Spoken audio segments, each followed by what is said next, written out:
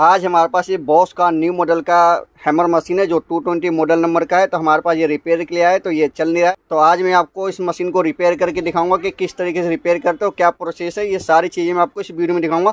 अगर हमारे चैनल पर नहीं तो हमारे चैनल को सब्सक्राइब कीजिए बेलाइकन को लाइक और शेयर करना ना बोले अब वीडियो करते स्टार्ट तो हमने वायर को सीरीज़ में लगा लिया, अब यहाँ से दबा के देख लेंगे तो आप देख सकते हैं चल नहीं रहा। अब इस स्विच को भी हम देख लेते तो आप देख सकते हैं हमारा ये स्विच भी जाम हो रखा है। ये लेफ़्ट राइट हो नहीं रहा, एक तरफ़ बैक मार रहा आप देख सकते हैं। तो फटाफट हम इसको खोल लेते हैं, फिर आगे देखेंगे इसमें क्या खराब है। तो इसको खोलना बिल्कुल आसान है। सबसे पहले हम कार्बन कैप को खोल लेंगे और ये चेक करेंगे हमारे इसके अंदर कार्बन है कि नहीं है। तो आप देख सकते हैं, एक पेंच लगा हुआ इस पेंच को हम खोल लेंगे। पेचकस की मदद से? इस तरीके से। अगर कार्बन नहीं हो तो हम इसमें हम नया कार्बन डाल देंगे तो हमारा ये पेंच खुल गया और ये ढक्कन भी बाहर की तरफ़ आ गया। तो आप देख सकते हैं इसके अंदर कार्बन है अभी। इसी तरीके से हम दूसरी तरफ़ को भी खोल लेंगे, इस तरीके से। हम ये वाला भी चेक करेंगे, इसमें भी कार्बन है कि नहीं है।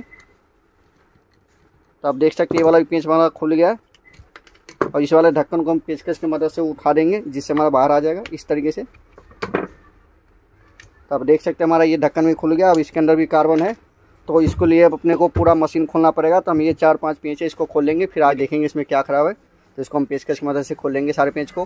तो एक एक करके सारे पेंच को खोलेंगे हम, इस तरीके से।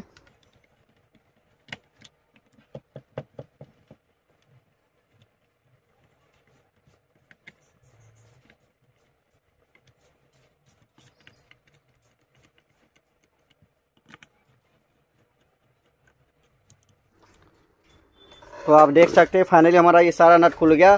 तो इस ढक्कन को खोलने के लिए अपने को ये वाला बॉडी को बाहर करना पड़ेगा, जो गेयर बक्सा है। तो इसके अंदर भी चार नट लगे, इसको भी खोल लेंगे, जब जाके हमारा ये ढक्कन खुलेगा। तो इसको भी हम पेचकश की मदद से खोलेंगे एक एक करके सारे पेंच को इस तरीके से। चार पेंच लगे, चारों को खोलेंगे हम।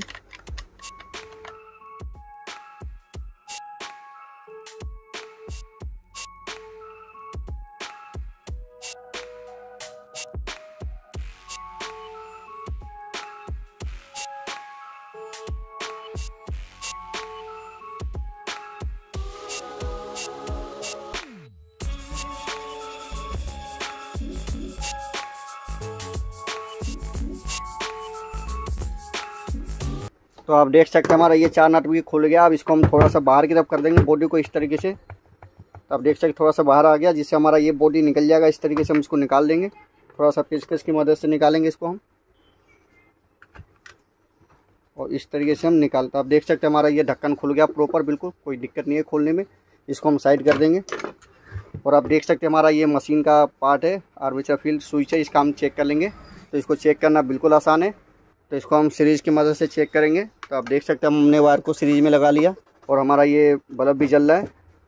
तो सबसे पहले हम वायर को चेक करेंगे। एक वायर यहाँ पे लगाएँगे, एक यहाँ पे। तो आप देख सकते हैं हमारा ब्लैक वाला वायर ओके है। अब लाल वाला चेक कर लेंगे। तो आप देख सकते हैं हमारा लाल वाला वायर भी सही है। अब हम स्विच के और वाइंडिंग चेक कर लेंगे। तो सबसे पहले हम एक वाइंडिंग का ये वाला पॉइंट एक ये पॉइंट है। इन दोनों में वायर को लगाएँगे। तो आप देख सकते हैं कि हमारा ये आर्मेचर फील ओके का रिपोर्ट है।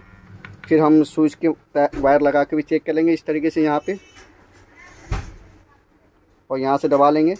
तो आप देख सकते हैं, स्विच दबाने से हमारा चल नहीं रहा तो इस मशीन में स्विच ख़राब है। तो आज मैं आपको इस मशीन में स्विच चेंज करके दिखाऊँगा कि किस तरीके से चेंज करते हैं और किस तरीके से रिपेयर करते हैं। सारी चीज़ें मैं आपको इस वीडियो में दिखाऊँगा। तो सबसे पहले हम स्विच को निकालेंगे इस तरीके से। और इस नट को खोलेंगे, जिससे हमारा वायर बाहर की तरफ़ आ जाएगा। इस तरीके से। फिर हम इस वायर को निकाल लेंगे। अब हम इस स्विच को भी निकालेंगे तो इसको निकालना बिल्कुल आसान इस तरीके से हम बाहर कर देंगे। तो आप देख सकते हैं हमारा ये कनेक्शन पॉइंट है। तो हम इस वाले वायर को निकाल लेंगे। और अपने को ध्यान रखना है, वापसी हमें ऐसे ही लगाना है, नए वाले में भी। तो हमारा ये एक पॉइंट निकल गया। दूसरा हमारा ये पॉइंट है, इसको भी हम निकाल लेंगे इस तरीके से। तो आप देख सकते हैं हमारा दोनों वायर निकल गया। अब हम इस स्विच को हम ऊपर की तरफ़ कर देंगे। इस वाले को हम निकालेंगे, इसको अपने को ज़रूरत नहीं अभी। तो आप देख सकते हैं हमारा ये लेफ़्ट राइट का दो वायर ऊपर की तरफ़ है और दो नीचे का है। तो इस पिन की मदद से हम वायर को निकालेंगे। इस तरीके से आप देख सकते हैं, बिल्कुल आसानी से निकलते एक वायर को हम इस तरफ़ कर देंगे और दूसरे वाले को भी इस तरीके से निकाल लेंगे। तो आप देख सकते हैं, हमारा दोनों निकल गया। आप देख सकते हैं, एक लेफ़्ट है, एक राइट है। हम ये ध्यान रखेंगे। अपने को सेम इसी तरीके से लगाना है। अब इसको हम उल्टा कर देंगे और फिर हम इस वाले वायर को भी निकालेंगे इसी तरीके से। आप देख सकते हैं। तो आप देख सकते हैं हमारा ये एक तरफ़ का ये निकल गया, अब दूसरी तरफ़ का हम ये निकाल लेंगे, जिससे हमें प्रॉपर याद रहे। इसको भी इसी तरीके से निकालेंगे। तो आप देख सकते हैं हमारा ये स्विच प्रॉपर बाहर आ गया। अब मैं आपको नया स्विच दिखाऊँ कि नया स्विच कैसा होता है।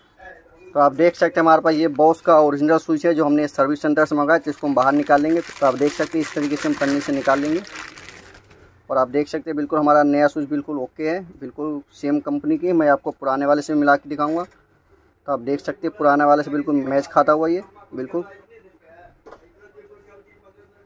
देख सकते बिल्कुल सेम है। अब हम इसको हम फटाफट डाल देंगे, फिर आगे आपको चला के दिखाएँगे तो इसको डालना बिल्कुल आसान है। तो ये स्विच हमारा इस तरीके से आएगा, और इसमें दो पॉइंट है तो एक वायर हम इसमें लगाएँगे, एक वायर को इसमें लगाएँगे तो इसको इस तरीके से लगा देंगे, देख सकते हैं आप। ये हमारा इसके अंदर आ जाएगा। और इसके अंदर हमारा ये वाला आ जाएगा। इसको भी हम इसी तरीके से लगा लेंगे, देख सकते हैं। तो ये हमारा लग गया, इसको हम इस तरीके से सीधा कर देंगे। और इस वालों को इस तरीके से लगा देंगे।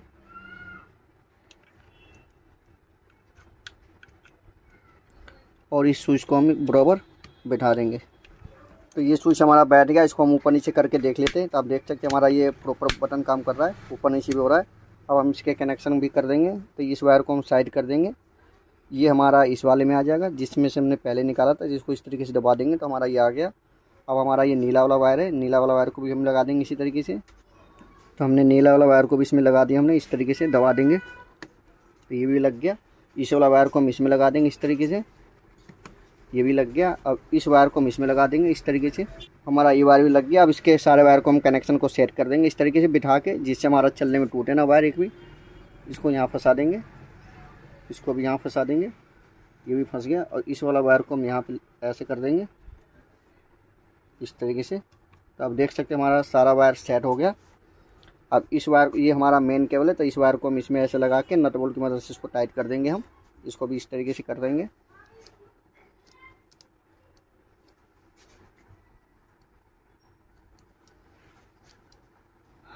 और इसको भी यहाँ लगा देंगे और इसको भी लगा देंगे। और फिर हम इसको एलेंकी की मदद से इसको फुल टाइट कर देंगे इस तरीके से। ये बहुत बारीक एलेंकी है।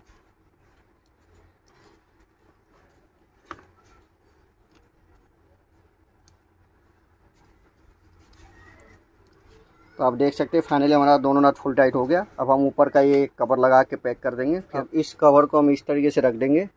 देख सकते हैं आप। और इसको इस तरीके से बिठा देंगे। तो आप देख सकते हैं हमारा ये कवर प्रॉपर बैठ गया। अब इसके अंदर में ये चार पाँच पीस लगा के फुल टाइट कर देंगे। एक एक करके सारे नट को हम इस तरीके से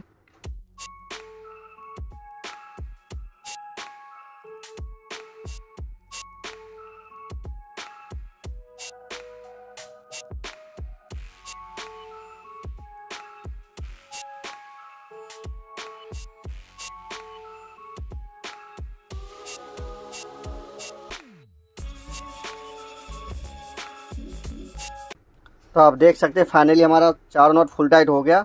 आप गैप भी देख सकते हैं, बिल्कुल गैप नहीं। अब इस वाले कवर को हम बैठा देंगे गेयर बक्सा तो इस तरीके से। तो आप देख सकते हैं, ये भी बैठेगा इसके अंदर भी चार नट लगे, इसको भी हम फुल टाइट कर देंगे। पेचकेस की मदद से सारे नट को इस तरीके से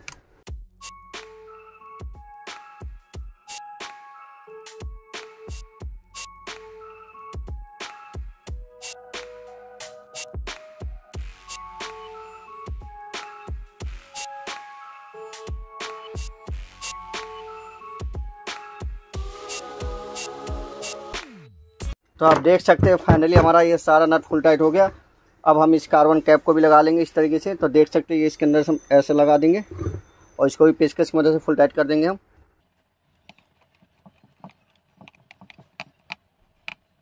अब हम दूसरी तरफ़ भी लगा देंगे कार्बन कैप को इस तरीके से।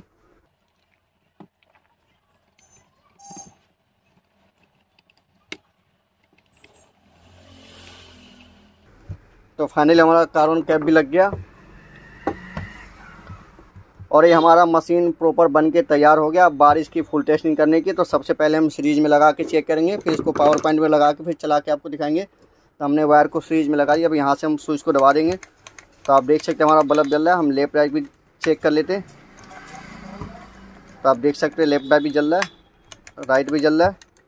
हम इसको पावर पॉइंट में लगा के फिर आपको चला के दिखाएँगे। तो हमने वायर को पावर पॉइंट में लगा लिया। अब यहाँ से ऑन कर देंगे हम।